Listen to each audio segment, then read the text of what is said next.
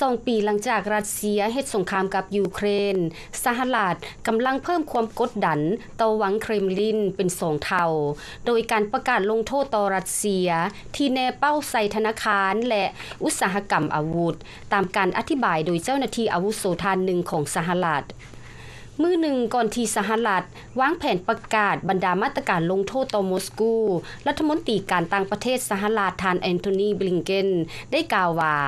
มีความปรารถนาอันนักแน่น อยู่ในกลุ่มสาวประเทศที่ต้องการให้การหุกหานของรัสเซียในยูเครนยุติลงถ้าทานอยู่ในห้องนั้น คือกันกับรัฐมนตรีการต่างประเทศรัสเซีย ทานลารอฟ ท่านจะได้ยินเสียงห้องของหมู่คณะที่นักแน่น ที่บ่เพียงแต่มาจากบรรดาประเทศ G7 ที่อยู่ในกลุ่ม G20 เท่านั้น แต่ยังมาจากบรรดาประเทศอื่น ๆ อีกหลายประเทศ เกี่ยวกับความจำเป็นในการยุติการหุกคานของรัสเซีย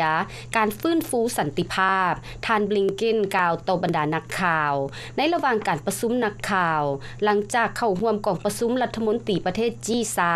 ที่นครริโอเดจาเนโรประเทศบราซิล